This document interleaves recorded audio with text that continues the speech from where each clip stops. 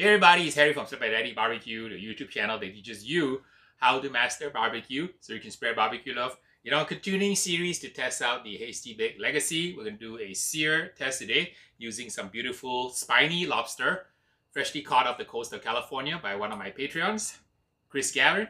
And he has uh, given me a lobster that was live. I'm going to show you how we prepared the lobster and we're going to set up the Hasty Bake for a sear type of a fire management and show you guys how to sear lobsters, have a little butter sauce, and create a dynamite style mayo dressing to go on top.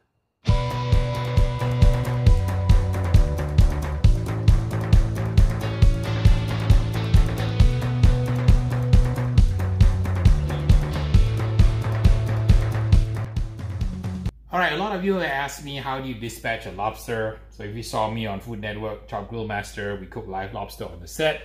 So the very first thing you want to do is you want to kill the lobster humanely. You take a sharp knife, you just stick it in the back of the neck here.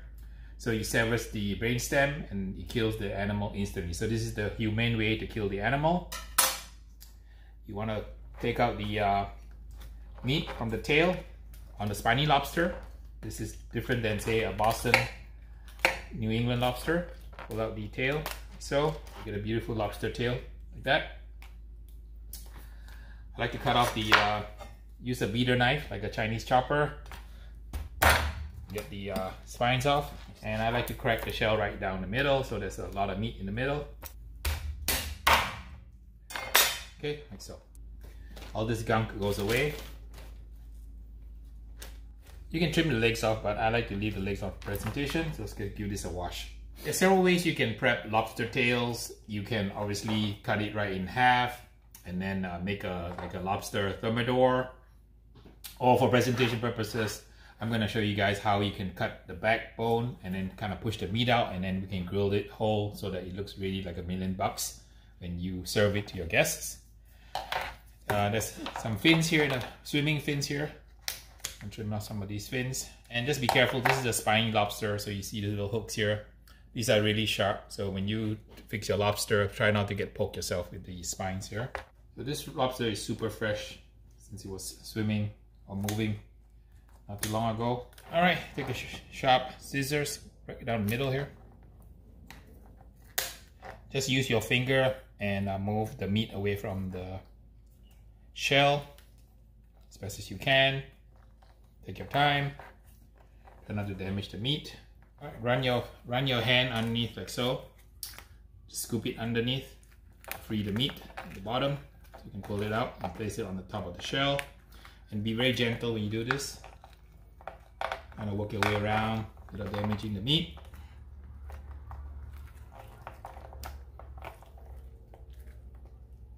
And try not to hurt yourself. This is the sharp edges here do the other side now. Free the meat. All right, once the meat is free. All right, so we free the meat, like so. See that? So just be take your time. If it's your first time, don't rush. Uh, just a tip here. Here's the uh, intestines. You you probably want to take this one out here. It's probably not very good eating. Toss this. Ready to go.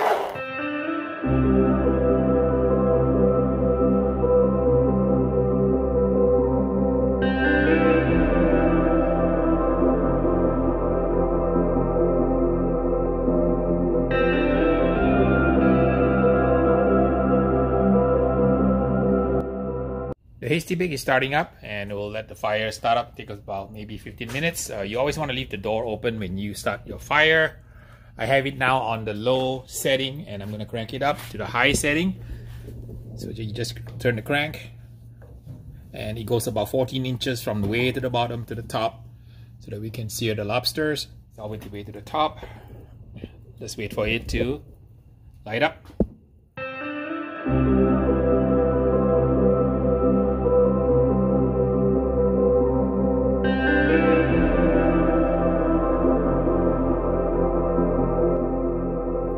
Coals have burned down a little bit, so it's really hot now. We want to get it around 450 degrees. Place the lobster right here. Brush a little bit of butter on it so we can get a rub on. Using my uh, Daddy uh, chicken rub works really, really well on seafood. Nice coating of it. Since we applied the butter, the rub's gonna stick nicely.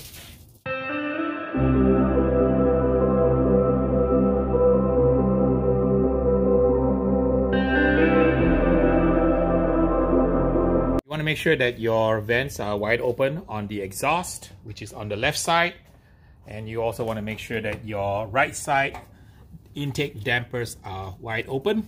While our lobster is cooking, I wanted to give you kind of a walk around tour of the Hasty Bake Legacy 132. This is America's oldest grill, invented in 1948 by a gentleman by the name of Grant Hastings. He had just come back from World War II and was looking to enjoy cooking in his backyard. At that point in time, no one had invented a grill that uh, would uh, be used in the backyard, so he built the Hasty Bake design. It's got a lot of many innovative features that are 70 years old, but very, very useful even today.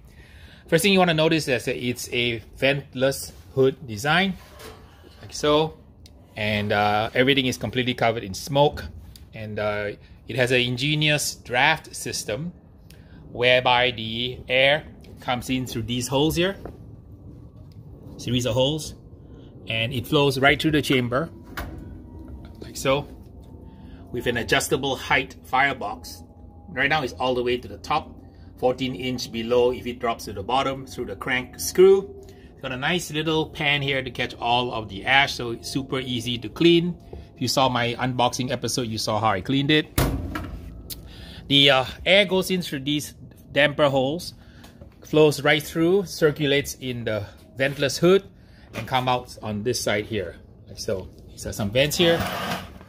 Show you guys how it looks like here. And there's a little vents are right here. See that? And there's a little uh, grease cup for your grease here. And uh, it's got a little V channel. Show you the V channel here. A little V channel that runs the length of the hasty bake so that the oil will drain down and drain into the grease cup. Very, very ingenious design. And I showed you earlier, it's got a crank. So you can lower and raise the height of the charcoal basket and go from sear all the way down to smoke. You can go from sear to bake to smoke and back. So I have it cranked all the way to the top because I want to sear my lobster under high heat, probably around 400, 450 degrees. Super solid design, stainless steel. This will last you a couple of different lifetimes. We're gonna serve the lobster with some dynamite sauce, which is uh, a sauce that's found very commonly in uh, Japanese restaurants. You know kind of like how you In-N-Out Burger or burger places have Thousand Island where you mix ketchup and the mayo. Uh, well, this thing is the kind of same thing, except you mix a, an iconic California ingredient called sriracha. This one is made in Irwindale, California, near Los Angeles by Huy Fong Foods. In order to make uh, this dynamite sauce, you really should get this brand of Japanese Kewpie mayo. And uh, if you cannot find this, Best Foods mayo or any regular mayo will work. We're gonna basically put three ingredients together. The mayo, sriracha to kind of spice it up, a little bit of rub for salt, and then this thing called uh, masago, which is a sort of a smelt fish roll. A little bit of mayo, as much or as little sriracha as you like. I like spicy, so I'm gonna put more. A little bit of barbecue rub, a little bit of masago, which is a Japanese style fish roll. And we're gonna use some for the garnish in a little bit also. Give it a taste test. Pretty good. Just add a tad more rub. All right, the bottom of the lobster is cooked. So I'm gonna flip it around and cook the top. So don't worry about flipping the lobster over because it's still attached to the shell, so it's not gonna fall off. And you can get a nice char also on the top part. So it's a nice char all over. We're gonna put the dynamite sauce on and do a little flambe in a little bit. All right, we at 140 degrees. Looks like it's done. Let's go ahead and put on some of our dynamite sauce now. You can use as much or as little as you like. If you don't even want it, that's fine. Just brush it with butter, maybe some garlic, some chives, and you're all set. But I think the uh, Japanese style of the dynamite is really works really well with any kind of seafood or fish. All right, let it warm up a little bit. All right, lobster is done with the dynamite sauce. I like a little bit more char, a little bit of sauce. Char is really good. You don't have this is optional, but makes for a great uh, final result. And if you are pyromaniac like me, i think like a little bit of a flambe at the end.